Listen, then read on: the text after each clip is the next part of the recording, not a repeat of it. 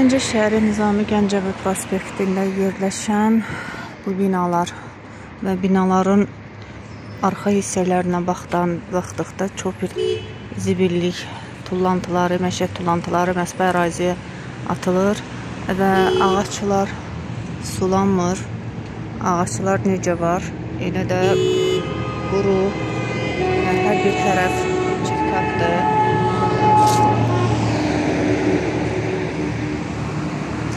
Və bu e, məişət tullantılarını əlbəttə ki, burada yaşayan sakinlər edir. Amma ağacların ətrafları heç biri təmizlənmir. E, nə baxımsızlıqdadır, sulanmır. Artıq bu ağaclar qurumaq üzrədir. Və bu binalara hərbiçilərin yaşadığı binalar deyirlər.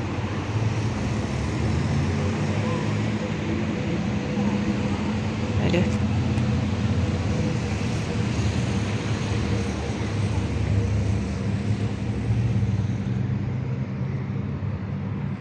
Bu ağacları qurumaqda məqsəd nədir? Tam anlamaq mümkünatı deyil. Çünki ə, e, mən bu ağacların nə vaxtsa darındığını, nə vaxtsa sulandığını görməmişəm və artıq bu ağaclar quruyur və quruma nəticəsində yarpaqlarını tökürlər və binanın ətrafı da çox çirklidir. Yəqin ki, bu binanın ətraflarını Gəncə şəhəri Mənzil Təsərrüfat İstismar Birliyinin işçiləri nəzəri yetirmir. Yetirsəydi e, belə şəkli olmazdır və ağaclar çoxsu getdikcə artıq quruyur. Və bu ərazidə demək olar ki, uçurumları da var. Gördüyünüz bu hasarlar artıq uçmaq üzrədir və hər bir tərəfi çirkabdır və təəssüf sizə demək istəyirəm ki, bu ərazidə bir şəhid də var. Şəhidin yaşadığı bir binadır, e, qarşı tərəfdədir.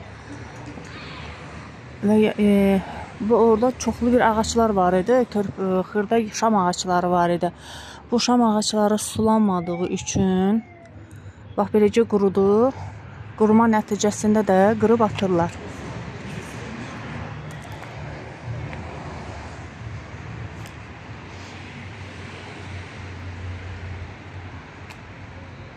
Mən buradan səslənirəm Gəncə şəhəri İcra Hakimiyyəti, Gəncə şəhər Əməzə Təsərrüfat İstismar Birliyi və Yaşıllaşdırma İdarəsi. Yəqin ki, bu əraziləri görməmisiniz. Görməmisinizsə mən sizə göstərim. Necə olur ki, bax, o torpaqlar boş idi. Bax, o torpaqları satdılar. Evlər tikdilər. Və oradan satılan pullar görəsən kimlərin cibinə getdi? Amma belə bir təmir işləri isə edilmir. Gözlənilir ki, dövlətin rəhbəri nə vaxt büdcədən pul ayıracaq, o vaxtı da ayrılan büdcənin pulunun yarısını sıçovlar kimi çıxacaqlar, iyisini hiss edəcəklər, oğrayacaqlar. Biraz bir yüngülvari üzdən sığal çəkəcəklər. Bir müddətdən sonra o çəkilən sığallar keyfiyyətsiz keyfiyyətini itirəcək Və sonradan yenə bax belə bir problemlər əmələ gələcək. Demə bu ərazi Nizami Gəncəvi prospekti 200 e, 204 208 və uşaqlar da bu, bu ərazilərdə oynayırlar. Yəni burada o qədər bürküdür ki, ağacların heç bir yarpağı tərpənmir. Yəni meh deyilən bir şey bara yoxdur ki, burada bir sərinlik olsun. Və bu insanların istirahət etmək istədiyi bir məkan belə yoxdur. Yalnız çıxırlar. Bax bu adruların üstündə otururlar.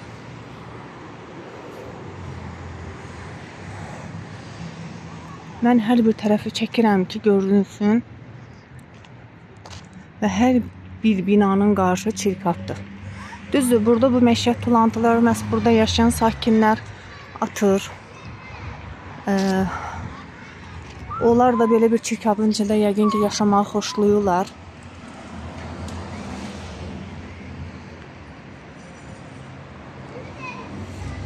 Ve e, karşı bina şehit e, şehit yaşayan bir binadır. Ve şehit yaşayan binanın da karşısı bax belə çirkabdır.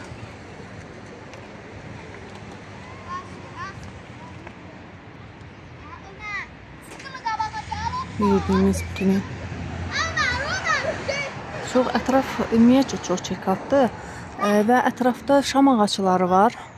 Amma bu şam ağacların heç biri sulanmır. Yəni bəlkə də deyərdim 1 ildir, bəlkə deyərdim 2 aydır, təxmini deyə bilmərəm. Hər dəfə keçdikcə bu ağaclara baxdım. Bu ağacların ətrafı nə təmizlənmir, nə şumlanmır, nə də sulanmır.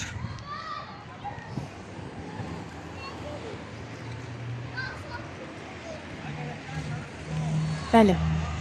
Bu da bizim şəhidimizin yaşadığı bir bina. Şəhid Elmir Nəcəfov məhz bu binada yaşayıb və yaşadığı binanın ətrafının çirkabı.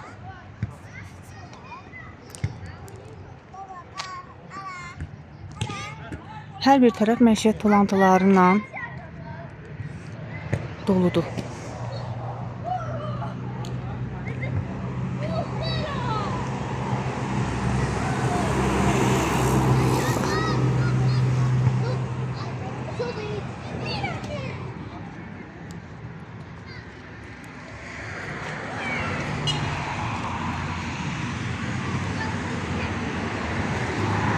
Əvvəllər bu ağaclar çox gözəl yaşıl idi. Otları da çox gözəl yaşıl idi. Çünki hər gün sulanırdı. Və bax su boruları olmasına baxmayaraq su gəlmir və heç kim bu ərazidə bu ağacları suladığını görməmişəm. Yəni uzun müddətdir bu ərazidə kimsə, hansısa bir bağman, hansısa bir ə, Gəncə şəhər Mənzil Təsərrüfat İstismar Birliyinin işçisinin bu ərazidə bu ağacları suladığını görməmişəm. Şam ağacları da görsəz e, getdikcə tamamilə quruyur. Çünki artıq e, suyu üzünə həsrətdir. Yalnız yağan yağışlar nəticəsində onlar su içir. Çəkiliş edirik. Çəkilişdən bir e, bir müddət e, sonra bir gün də olsa bu ağacların ətrafı e, tə, düzəlir, yəni sulanır, ətrafı. Yəni ağacların heç birində görürsüz rəngli yox, rəng yoxdur. Əslində bu ağacların hər birinə e, boya çəkməlidirlər, ağ boya. Amma bu gün onların heç birindən istifadə olunmur. Sizin də TTV kanalının əməkdaşı Günarə Əli qızı.